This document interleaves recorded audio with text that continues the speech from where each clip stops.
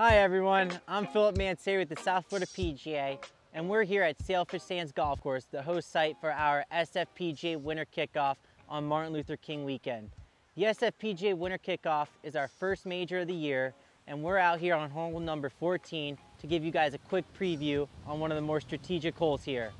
For the boys 13 to 18 division, it's going to play 330 yards. and the girls 13 to 18 division, it's going to play about 315 yards.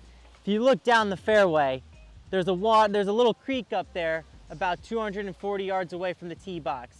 I'm gonna use my four iron, which is my 215 yard club, to put me in a good range to have a nice easy shot in. Hole number 14 is a slight dogleg left, so I'm gonna aim for the right center of the fairway just so I have a clear angle towards the green.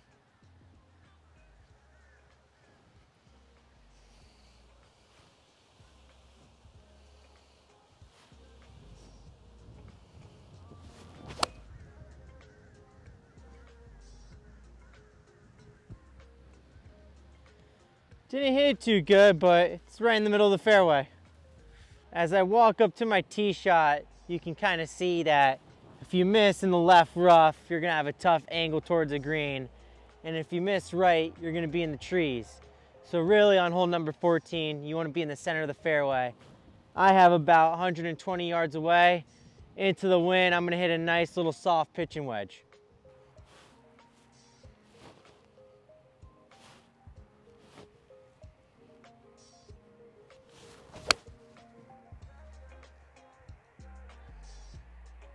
Hit the shot well, just short of the flagstick, center of the green. Gave myself an uphill putt. Before I do anything on the green, there is always one thing to do. I'm gonna fix my pitch mark to care for the course.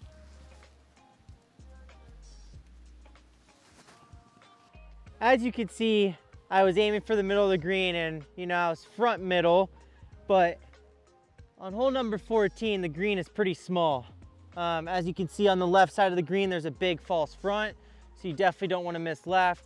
And right of the green, there's a small little bunker. So really your focus point on hole number 14 green is the center of the green and you'll have a good look for birdie no matter where the pin is. So I have a 20 footer for birdie. Really just want to walk away with a four, but if my putt drops in, I'll be happy.